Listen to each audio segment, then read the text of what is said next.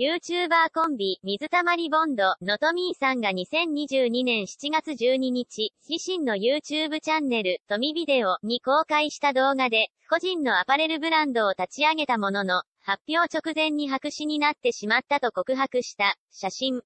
発表前に潰れたブランドのグッズ、31人宴会で努力が水の泡に、ブランドを立ち上げて潰れました。と題して公開した動画でトミーさんは、これから自分の身に降り注いだ最悪だった話をしていくと説明。自分のせいで起きた話なんですけども、多分過去最高にダサいと思います。と前置きした上で、三等直入に、ブランドを作って発表前に潰れました、と報告した。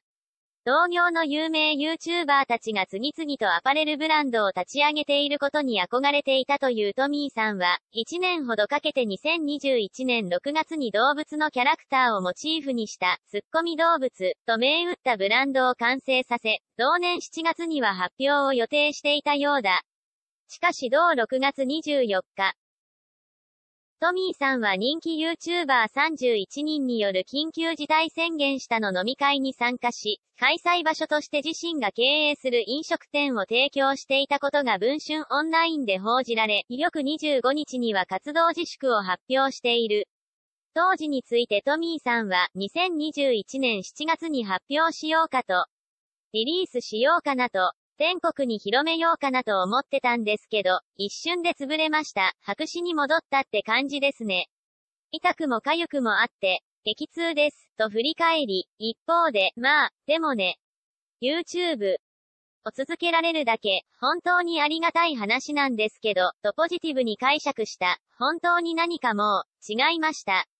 さらにトミーさんは、あの時、僕は何もなくなっちゃったし、こういうことも言える環境ではなかったです。正直、と続けつつ、なので、あの、在庫が残りました、とぽつり。また、公式 HP 及び、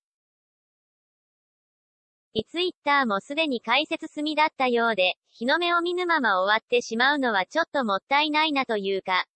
もしよかったら、こんなの作ってた時もありました、みたいなのを見てほしい、と訴え、ロンティーが200枚あるので、本当に手に取ってもらいたいなっていう、と控えめに宣伝していた。